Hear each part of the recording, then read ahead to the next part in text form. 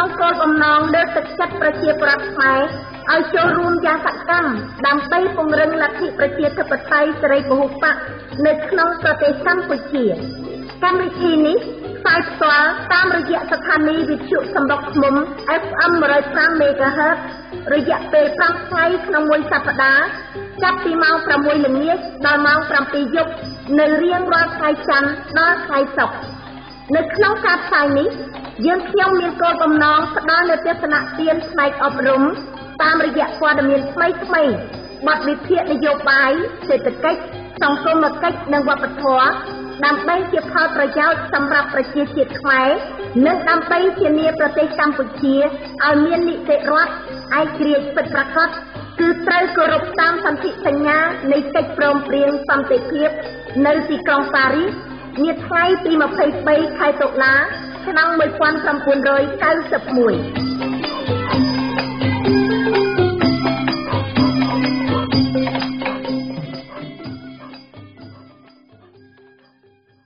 ខ្ញុំបករណាខ្ញុំបាទអិតសុខាសូមក្រាបថ្វាយបង្គំព្រះធរានុធរៈគ្រប់ព្រះអង្គនិងសូមជម្រាបសួរអស់លោកអ្នកស្ដាប់កម្មវិធីក្តីសង្ឃឹមដែលផ្សាយតាមរយៈបន្ទុសមុខមុំ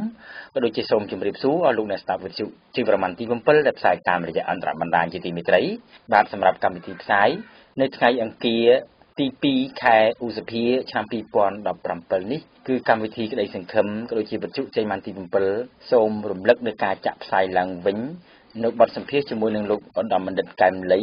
ដែលកាលពីលោកនៅមានជីវិតលោកបានផ្ដល់បទសម្ភាសជារឿយៗមកដល់កម្មវិធីក្តីសង្ឃឹមក៏ដូចជាវិទ្យុសហគមន៍ប្រសង់ខ្មែរកម្ពុជាក្រោមពិភពលោកជុំវិញនឹងប្រធានបទទាំងរឿងនយោបាយទាំងរឿងសង្គមដើម្បីរំលឹកអំពី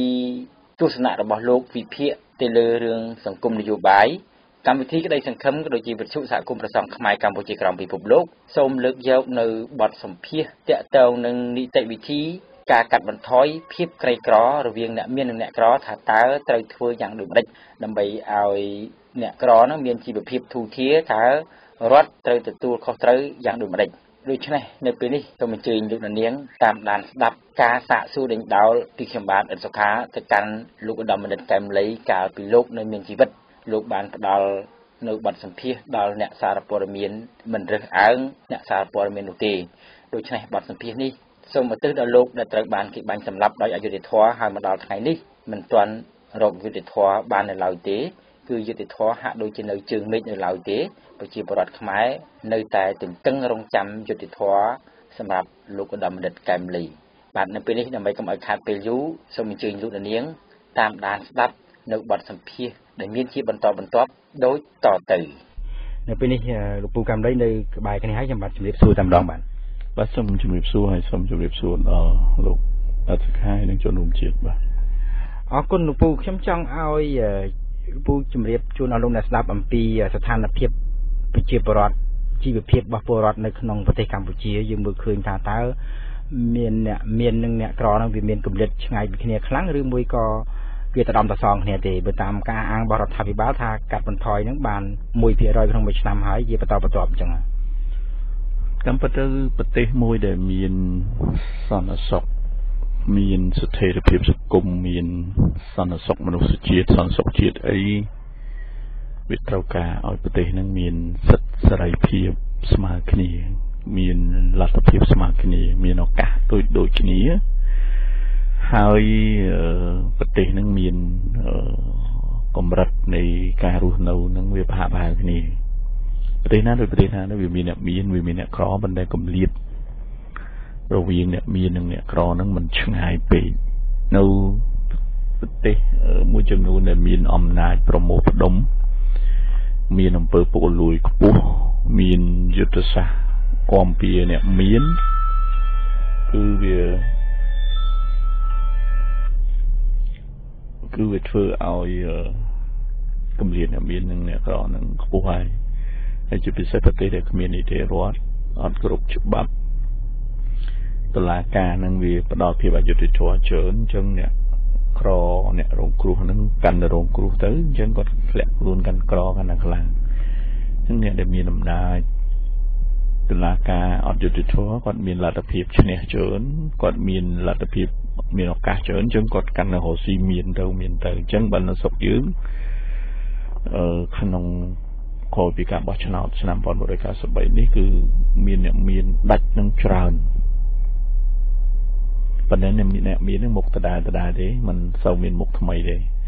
ប៉ុន្តែអ្នកក្រនោះវាក្រច្រើនហើយអ្នកក្រមុខដដែលហងនឹងមុខថ្មីផងអ្នកខ្លះក្រហ្នឹងនៅតែក្រដដែលហើយអ្នកមធ្យមនឹងធ្លាក់ខ្លួនក្រអ្នកមានធ្លាក់ខ្លួនក្រខ្លះ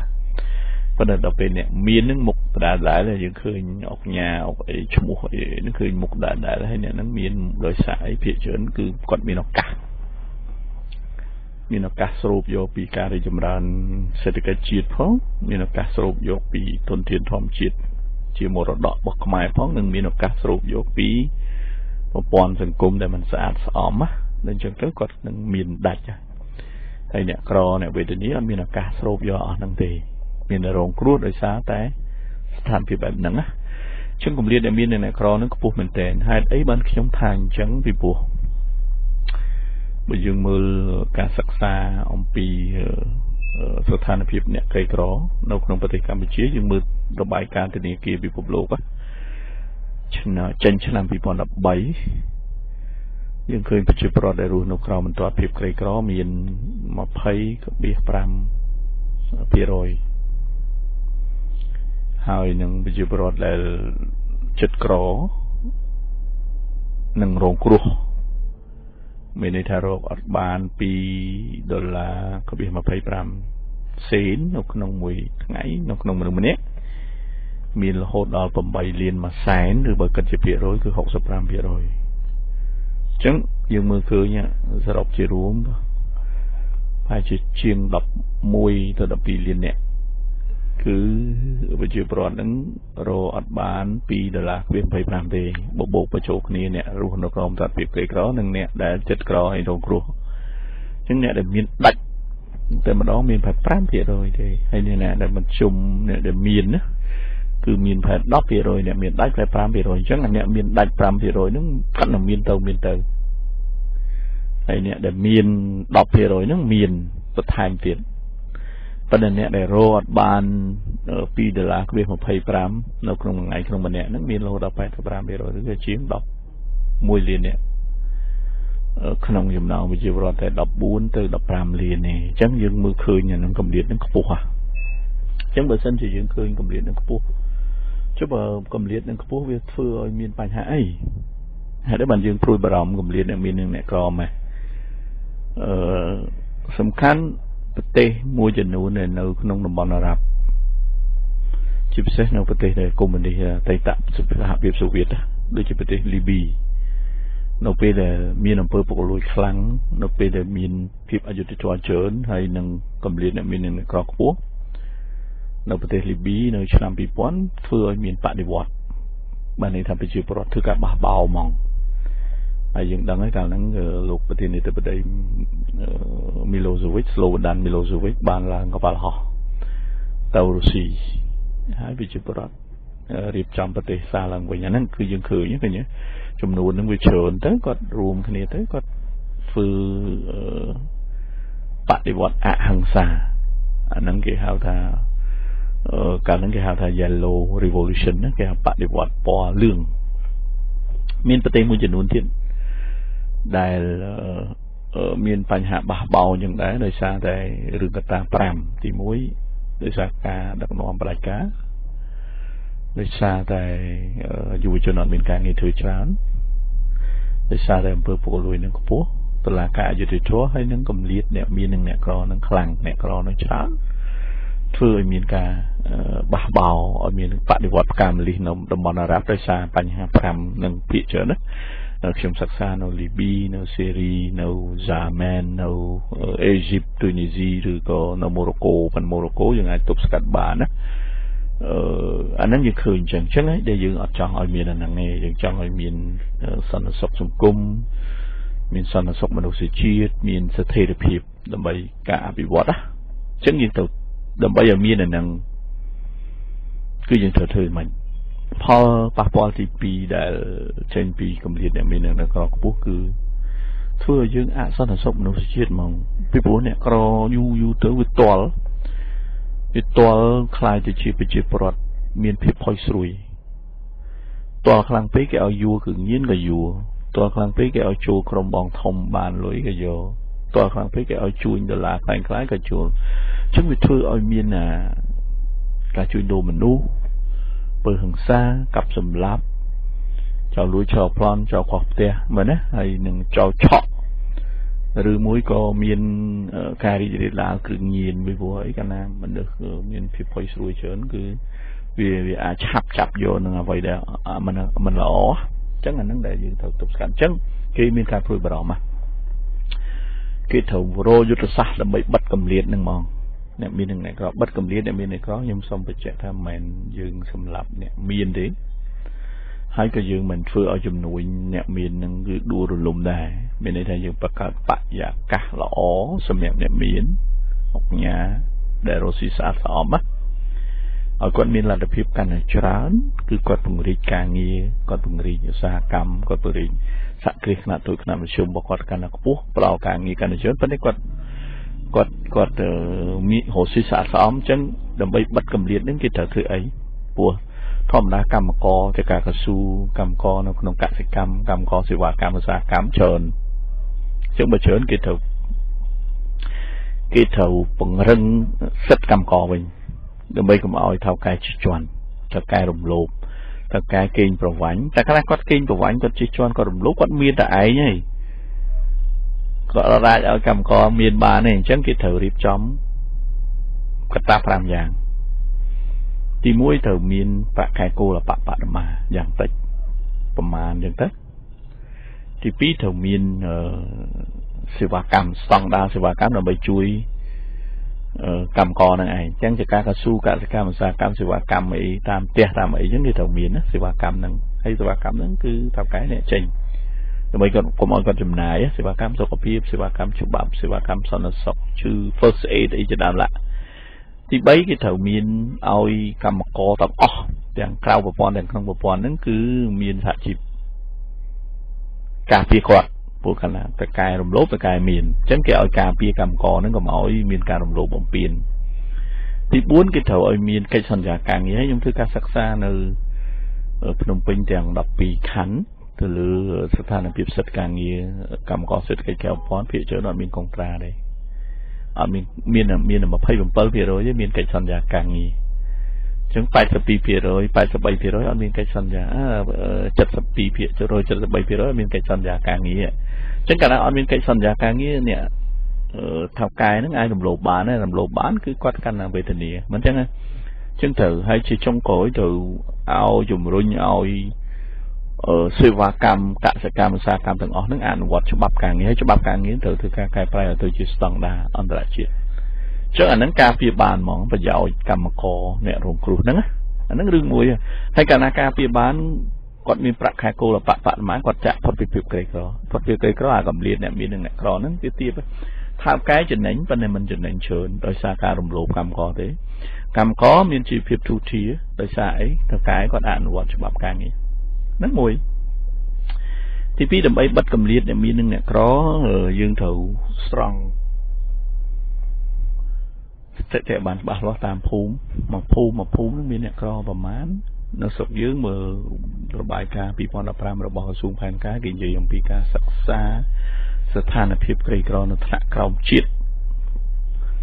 យើងឃើញមាន18.67%បើ 18.67%ខ្ញុំគិតជាគ្រួសារវិញគឺមានប្រហែលជា62ម៉ឺនគ្រួសារ62ម៉ឺនគ្រួសារបាទជាងកន្លះលានហ្នឹងអញ្ចឹងយើងត្រូវស្រង់ថា62ម៉ឺនគ្រួសារដែលក្រីក្រហ្នឹងគឺនៅឯណានៅភូមិណាហើយមួយភូមិមួយភូមិហ្នឹងមានប្រមាណជាក់ស្ដែងនៅពេលដែលយើងរកឃើញហើយខេត្តនីមួយនីមួយស្រុកនីមួយនីមួយឃុំនីមួយនីមួយរៀបចំផែនការអភិវឌ្ឍសេដ្ឋកិច្ចគ្រួសារ ហើយការរៀបចំផែនការអភិវឌ្ឍសេដ្ឋកិច្ចគ្រួសារនឹងត្រូវរដ្ឋមានវិភាគថវិការដ្ឋដោយសហការជាមួយនឹងដៃគូអភិវឌ្ឍដើម្បីទៅជួយកាត់បន្ថយភាពក្រីក្រ ចំពោះគ្រួសារក្រីក្រនឹងឯងហើយរៀបចំហ្នឹងក៏ដល់ពេលទៅជួយតឡាយើងសហការមួយអង្គការសង្គមស៊ីវិលហើយនិងផ្នែកឯកជនដើម្បីគេផ្ដល់ជំនាញខាងមុខរបរកសិកម្ម off farm ឬក៏ in farm អីមែនទេកសិកម្មឬមួយក៏មិនមែនកសិកម្មសហគ្រាសខ្នាតតូចតាមជុំអីអង្គការក្រៅរដ្ឋាភិបាលឬមួយក៏ផ្នែកឯកជនគេមានជំនាញប៉ុន្តែរដ្ឋត្រូវការតាមដានត្រួតពិនិត្យពលរដ្ឋអ្នកវិនិយោគដៃគូអភិវឌ្ឍអ្នកវិនិយោគហើយអ្នកដែលអនុវត្តគឺគ្រួសារក្រីក្រនឹងឯងហើយអ្នកដែលជួយខាងបច្ចេកទេសដើម្បីឲ្យចាក់ផុតពីក្រីក្រគឺអង្គការសង្គមស៊ីវិលហើយនឹងផ្នែកឯកជនអាហ្នឹងគឺជួយ ការពារអ្នកក្របានណាហើយជួយលើកអ្នកក្រនឹងឲ្យចាក់ផុតពីភាពក្រីក្របានច្រើនជាទេបរមាទៅគម្លាតមានអ្នកក្រនឹងកាន់ណាចិត្តគ្នាហើយអានឹងរឿងទី2រឿងទី3យើងត្រូវមើលអាយុទ្ធសាស្ត្រគាំពៀសង្គមយើងណាការ pro poor policy យុទ្ធសាស្ត្រគាំពៀអ្នកក្រីក្រហើយអ្នករងគ្រោះចឹងយើងត្រូវមើលអានឹងឧទាហរណ៍ថាឥឡូវក្នុង ភូមិមួយមួយមានចាស់ជរាមានកុមាររងគ្រោះងាយរងគ្រោះមានអ្នករស់រស់រស់នៅជាមួយនឹងមេរោគអេដមានជនពិការយើងត្រូវស្រង់ណាស្រង់ហើយយើងត្រូវរៀបចំយុទ្ធសាស្ត្រគាំពារសង្គមយើងអាចមានជា ID ភួរមែនទេយើងអាចមានបានក្រីក្រសម្រាប់គ្រួសារក្រីក្រផងអ្នករងគ្រោះផង ចឹងបានក្រីក្រហ្នឹងបើសិនជាយើងធ្វើបានល្អអ្នកក្រត្រូវមានបានក្រីក្រទាំងអស់គ្នាឲ្យមានភាពយុត្តិធម៌ហើយបានក្រីក្រហ្នឹងត្រូវប្រើប្រាស់វាពិសាលភាពនៃការប្រើប្រាស់បើរដ្ឋមានដីសម្បទានសង្គមកិច្ចផ្ដល់ឲ្យគាត់អ្នកណាអត់ដីបើរដ្ឋដកដីសម្បទានសេដ្ឋកិច្ចមកពីក្រុមហ៊ុនដែលមិនបានអនុវត្តតាមច្បាប់ការងារយើងចែកឲ្យអ្នកក្រីក្រនោះទៅតាមលទ្ធភាពដែលយើងមានដីហ្នឹងណា ហើយទី3គឺគាត់ប្រើប្រាស់ឧទាហរណ៍ថាឥឡូវគាត់ប្រើប្រាស់ទឹកឬក៏ភ្លើងរដ្ឋត្រូវសហការជាមួយនឹងអាជ្ញាធរអគិសនីរដ្ឋកោទឹកដើម្បីបញ្ចុះតម្លៃយ៉ាងម៉េចឲ្យអ្នកក្រីក្រហ្នឹងគាត់ចាយតិចមានន័យថាគាត់អាចបង់50%ថ្លៃទឹកថ្លៃភ្លើងហើយរដ្ឋត្រូវមាន កិច្ចសន្យាជាមួយនឹងមន្ទីរពេទ្យឯកជនឬមួយក៏មន្ទីរពេទ្យរដ្ឋនឹងឯងគឺអ្នកដែលមានបានក្រីក្រហ្នឹងអត់យល់អត់យល់ថ្លៃសេវាពេទ្យហើយកូនអ្នកក្រកូនអ្នកដែលមានបានក្រីក្រហ្នឹងត្រូវរៀននៅមហាវិទ្យាល័យណានៅវិទ្យាល័យអីអីត្រូវអត់បង់ថ្លៃរហូតប៉ុន្តែបើសិនជាគាត់អត់ចង់រៀនសាលារដ្ឋគាត់ទៅរៀនសាលាឯកជនរដ្ឋត្រូវមានអាហារូបករណ៍សម្រាប់ជូនគាត់ចំពោះសមាជិកគ្រួសារដែលមានបានក្រីក្រ សំខាន់ទៀតគឺយើងត្រូវមើលអាអាការកម្ចីព្រោះធម្មតាគាត់បង្កើតមុខរបរខ្នាតធ្វើឆ្នាំជុំគាត់ត្រូវកម្ចីស្ថាប័នមីក្រូរ៉ាញ់ថោហើយអញ្ចឹងដើម្បីឲ្យគាត់អាចរស់បានហើយគាត់ធ្វើបានយើងត្រូវពិនិត្យរដ្ឋទៅសហការជាមួយនឹងស្ថាប័នមីក្រូរ៉ាញ់ផុតដើម្បីធានាបំណុលរដ្ឋពីប្រទេសមួយចំនួនដែលមានការប្រាក់ទាបហើយស្ថាប័នមីក្រូរ៉ាញ់ថោនោះអាចផ្ដល់ទៅដល់ពលរដ្ឋដោយតម្លៃការប្រាក់ទាបសម្រាប់ ជនក្រីក្រហើយនឹងជនងាយរងគ្រោះអញ្ចឹងវិសាលភាពនៃបានក្រីក្រនឹងអាចល្អណាហើយគាត់ចំណាយតិចកាលណាគាត់ចំណាយតិចគឺគាត់អាចចាក់ផុតពីស្ថានភាពក្រីក្រនេះគឺជាយុទ្ធសាស្ត្រមួយទៀតយុទ្ធសាស្ត្រមួយទៀតដែលយើងមើលឃើញគាត់ចំណាយច្រើនតកតងទៅនឹងខាងវិស័យដើមទុនកសិកម្មចឹងដើម្បី ការពារជនក្រីក្រជនងាយរងគ្រោះបានរដ្ឋត្រូវលើកដំកើងសមាគមកសិករសហជីពសមាគមអាជីវករកម្មករអញ្ចឹងណាដើម្បីឲ្យគាត់អាចជួយការពារគ្នាគាត់បានហើយជាពិសេសខ្ញុំមើលឃើញស្ថាប័នមីក្រូរ៉ាញ់តូដែលដែលដឹកនាំដោយអង្គការក្រៅរដ្ឋាភិបាលគាត់ទៅយកអតិថិជននឹងភាគច្រើនគឺអតិថិជនអ្នកក្រីក្រអ្នករងគ្រោះហើយអញ្ចឹងយើងត្រូវការពារស្ថាប័នហ្នឹង ហើយសមាគមកសិករហ្នឹងត្រូវឲ្យទៅជាសហគរកសិករដើម្បីឲ្យកសិករក្រីក្រហ្នឹងគាត់មានលទ្ធភាពលក់ស្រូវបានថ្លៃឬមួយក៏លក់អង្គរដ្ឋត្រូវមានគោលនយោបាយដាច់ខាតចំពោះតម្លៃស្រូវយ៉ាងតិច1000រៀលក្នុង1គីឡូក្រាមខ្ញុំគិតថាអាចទទួលបានជោគជ័យហើយ ចឹងបើសិនជាតម្លៃស្រូវនឹងវាថ្លៃអង្គវារត់តែថ្លៃមែនទេរងថ្ងៃតម្លៃស្រូវកាន់តែចុះថោកប៉ុន្តែតម្លៃអង្គនៅលើទីផ្សារអន្តរជាតិទីផ្សារជាតិវាកាន់តែឡើងថ្លៃអាហ្នឹងយើងត្រូវពិនិត្យហេតុអីពីព្រោះយើងអត់មានតម្លៃហ្នឹងឈ្មួញកណ្ដាលច្រើនជាន់វាធ្វើឲ្យគាត់នឹងខាតបាទខ្ញុំសូមសង្ខេបប៉ុណ្ណេះអរគុណអរគុណលោកពូបានលើកឡើងអំពីយុទ្ធសាស្ត្រយុទ្ធវិធីដើម្បីកាត់បន្ថយកម្រិតអ្នកមានអ្នកក្រ ដូចពូបានលើកឡើងបាញ់មិញប៉ុន្តែកាលពីប្រហែលឆ្នាំមុនថ្មីថ្មីហ្នឹងលោកនាយករដ្ឋមន្ត្រីហ៊ុនសែនគាត់បានទទួលស្គាល់ថារដ្ឋាភិបាលមិនអាចកាត់បន្ថយភាពក្រីក្រពលរដ្ឋបានព្រាមព្រាមនេះប៉ុន្តែបើកាត់បន្ថយផ្នែកចំណេះដឹងផ្នែកអប់រំមិននឹងបានអញ្ចឹងអឺពូមានការខ្ញុំមើលគ្រាន់តែជាសារនយោបាយដើម្បីវិបហាទៅគណៈបកមួយទេថាការកាត់បន្ថយកម្រិតអ្នកមាននិងអ្នកក្រហ្នឹងគឺ សម្រាប់អ្នកមានឲ្យទៅជាសម័យប៉ុលពតអីចឹងខ្ញុំគិតថាហ្នឹងមិនគ្រាន់តែជាសារក្នុងនយោបាយប៉ុន្តែបើសិនជាក្នុងន័យការវិវត្តសង្គមនៅក្នុងន័យសេដ្ឋកិច្ចគេនៅលើពិភពលោកនៅតំបន់គេអាចកាត់បន្ថយកម្រិតអ្នកមានអ្នកក្របានតាមរយៈយុទ្ធសាស្ត្រដែលខ្ញុំបានរៀបរាប់ហ្នឹងទី1គឺយុទ្ធសាស្ត្រកាត់បន្ថយភាពក្រីក្រទី2យុទ្ធសាស្ត្រគាំពារសង្គមសំខាន់ណាស់ណា ហើយទី3គឺធ្វើយ៉ាងម៉េចកុំឲ្យមានភាពអយុត្តិធម៌នៅក្នុងសង្គមច្រើនអញ្ចឹងអ្នកក្រมันរងគ្រោះបន្តទៅទៀតទេហើយខ្ញុំមើលឃើញយើងមានឧបសគ្គមួយធំដែលយើងមិនអាចធ្វើបានច្រើនដោយសារតែសមាជិករបស់រដ្ឋាភិបាលអ្នកធ្វើការធំធំហ្នឹងគាត់សិតតែមានភាគីជំនួយ គាត់មានភាគហ៊ុនជំនួយគាត់មានកូនមានប្រពន្ធមានបងប្អូនអីធ្វើជំនួយកាលណារដ្ឋាភិបាលមិនដើរតួនាទីដោយឯករាជ្យនៅក្នុងការការពារអ្នកមាននិងអ្នកក្រទេហើយគាត់ទៅភាកច្រើនគាត់ខ្លាយទៅជាអ្នកជំនួញអញ្ចឹងជំនួញដើម្បីចំណេញចំណេញនឹងបានពីណាមកបានពីអ្នកក្រីក្រតែបានពីអ្នកក្រីក្រគឺអត់មានអ្នកណាទៅជួយការពារទេអញ្ចឹងយុទ្ធសាស្ត្រហ្នឹងគឺខ្ញុំមើល គេហៅតគួនភ្លេចបឹកជាធម្មតាកម្មាភិបាលឬមួយក៏ថ្នាក់ដឹកនាំបច្ចុប្បន្នភាគច្រើនគាត់ចេញពីទាហានចេញពីក្រីក្រចេញពីក្មេងវត្តអីចឹងណាប៉ុន្តែគាត់ភ្លេចថាកាលពីនោះគឺគាត់វេទនាយ៉ាងម៉េចហើយគាត់អាចមានលទ្ធភាពទៅការពារយ៉ាងម៉េចបើគាត់ភ្លេចគាត់ គាត់មានលទ្ធភាព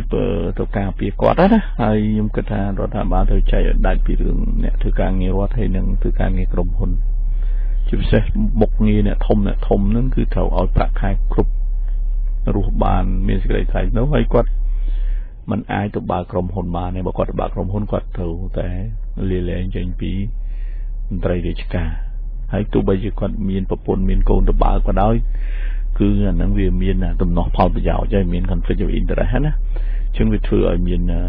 បញ្ហាហ្នឹងហើយហើយយើងអាចអាចទៅការពារអ្នកក្របានហ្នឹងជាជាឧបសគ្គធំបាទប៉ុន្តែយ៉ាងណាក៏ដោយលោកនាយករដ្ឋមន្ត្រីហ៊ុនសែនគាត់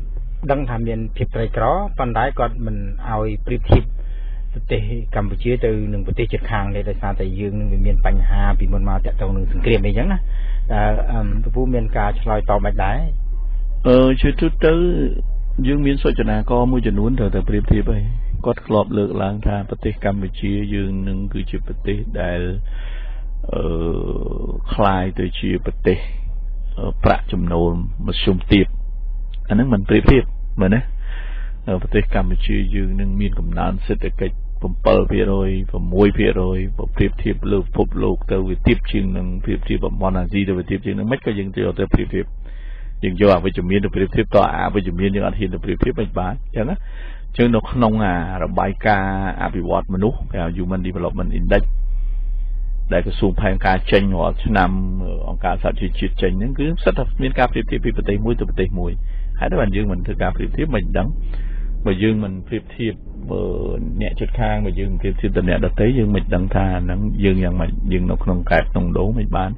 ចឹងអាសិក្សាស្រាវជ្រាវសិក្សាប្រៀបធៀបហ្នឹងគេមានមេរៀនបរិញ្ញាដែរគេឲ្យយើងប្រៀបធៀបដើម្បីដើម្បីឲ្យដឹងថាយើងល្អឬអាក្រក់ថាយើងប្រៀបធៀបទៅអ្នកដទៃបើយើងដើម្បីឲ្យយើងដឹងថាហ្នឹងវាស្តង់ដារស្តង់ដារតើយើងមានស្តង់ដារដើម្បីធ្វើការប្រៀបធៀបណាចឹងខ្ញុំមើលទៅឃើញការប្រៀបធៀបមិនមែនជារឿងអាក្រក់ទេប្រៀបធៀបឲ្យយើងដឹងថាកម្រិតនៃអំពើពុករលួយស្រុកខ្មែរយើងប៉ុណ្ណាហើយប្រទេសគេប៉ុណ្ណាហើយយើងប្រៀបធៀបយ៉ាងដូចម្ដេច គេប្រៀបធៀបទៅតាមទីតាំងភូមិសាស្ត្រពីព្រោះប្រទេសយើងនិងប្រទេសថៃវៀតណាមអីវាមានទីតាំងភូមិសាស្ត្រស្រដៀងគ្នាហើយប្រទេសវៀតណាមក៏មានសង្គ្រាមវៀតណាមមែនទេហើយទំចប់ដូចគ្នានឹងសង្គ្រាមរវាងវៀតណាមហើយចិនរ៉ាំរ៉ៃមែនទេវៀតណាមក៏ចូលរួមក្នុងប្រឡូកនៅក្នុងសង្គ្រាមកម្ពុជាដែរមែនទេហើយថៃក៏មានបញ្ហាភូមិភាគខាងត្បូង ខាងជើងមែនទេហើយបញ្ហាផ្សេងផ្សេងទៀតមានរដ្ឋបហាមានអីដូចគ្នាដែរអញ្ចឹងយើងត្រូវទៅកាប់ប្រៀបធៀបហើយបើយើងមើលភូមិឧបសគ្គច្រើនជាងយើងហើយបានគេចាប់ផ្ដើមស្ទុះសូចនាករមួយចំនួនគេឡើងលើសយើងវិញឡាវអីអញ្ចឹងយើងត្រូវការប្រៀបធៀបអញ្ចឹងហើយបាទមួយទៀតខ្ញុំចង់ឲ្យពូធ្វើការសិក្សាវិភាគតកតងនឹងមន្ត្រីរដ្ឋាភិបាលហាក់ដូចជាមានតម្រេះវិជាមានជំនាញខ្លាំងខាងផ្នែកសេដ្ឋកិច្ចផ្នែកអីអញ្ចឹង ប៉ុន្តែឃើញអ្នកមន្ត្រីធំធំហ្នឹងគឺមានច្រើនគម្លាតទៅមានអ្នកមានអ្នកក្រនឹងច្រើនហើយបើយើងនិយាយពីចំណេះដឹងគឺខ្ពស់នៅក្នុងជួររដ្ឋាភិបាលគឺយើងមើលជំនាញធំធំប៉ុន្តែហេតុអីបានជាខាងនោះគេមិនធ្វើឲ្យមានកាត់បន្ថយភាពក្រីក្រនឹងបានឬមួយក៏វាអាចការការធ្វើឲ្យក្រីក្រនឹងវាវាបណ្ដាលមកពីរឿងនយោបាយប្រទេសជិតខាងដែរពូអាចធ្វើការវិភាគអីបានទេ ជាទូទៅយើងមើលតាមពិតគាត់មានជំនាញចំណេះដឹងហើយបានគាត់មានជំនាញចំណេះដឹងពួកគាត់ខ្លាយទៅជាមហាសទ្ធិអស់ហ្នឹងមហាសទ្ធិដោយសារ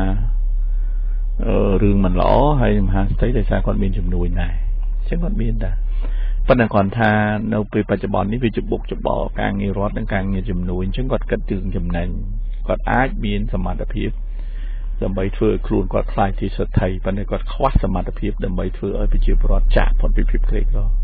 គាត់មានយុទ្ធសាស្ត្រកាត់បន្ថយភាពក្រីក្រ1%ក្នុងមួយឆ្នាំអីអញ្ចឹងប៉ុន្តែខ្ញុំគិតថា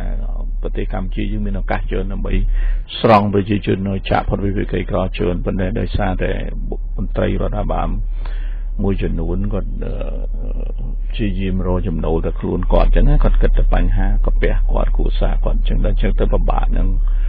ពិបាកនឹងនេះហើយការដឹកនាំជាប្រព័ន្ធអញ្ចឹងជួនកាលអ្នកមានបញ្ញាមានចំណេះដឹងมันមានឱកាសដើម្បីចូលទៅ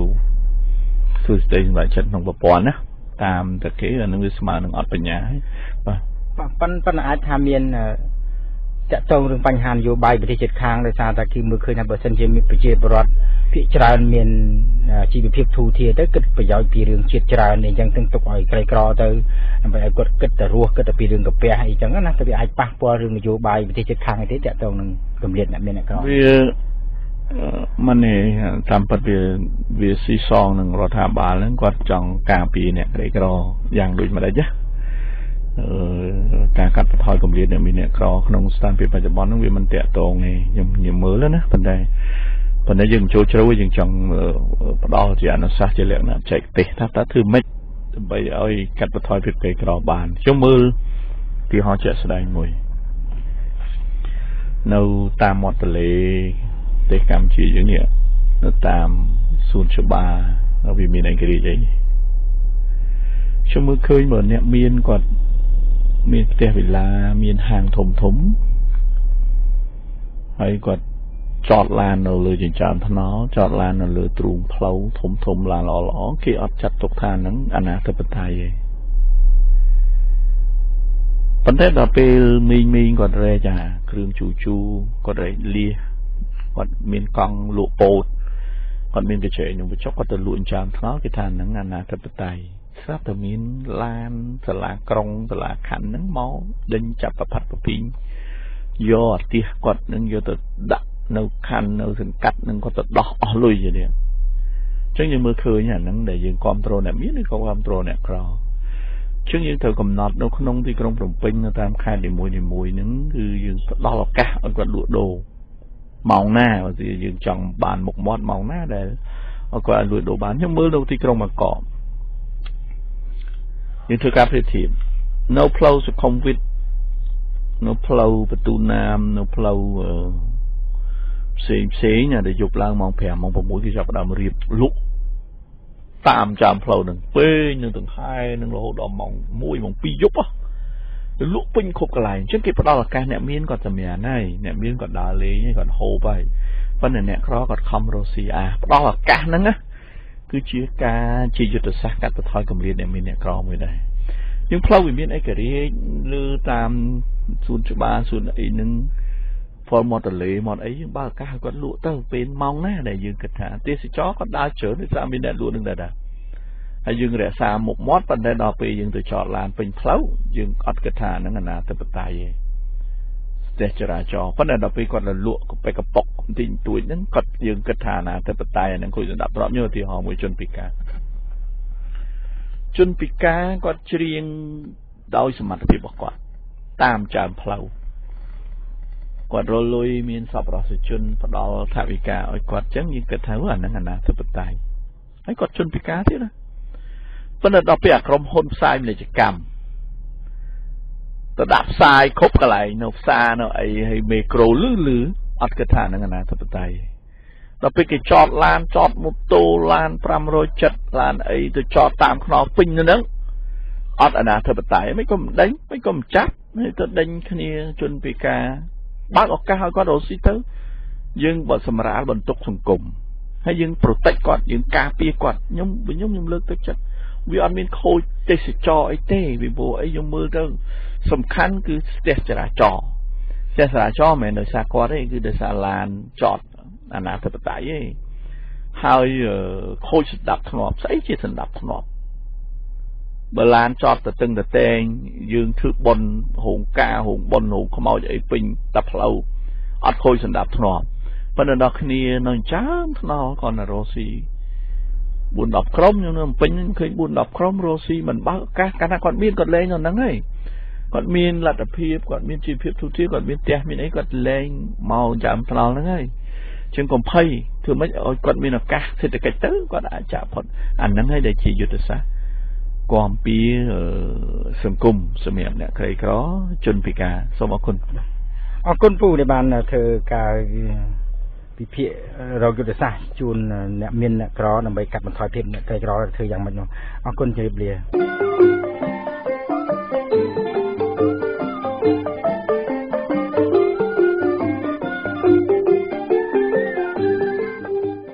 ធីក្តីសង្ឃឹមដែលលោកអ្នកនាងកញ្ញាបានស្ដាប់នៅពេលនេះ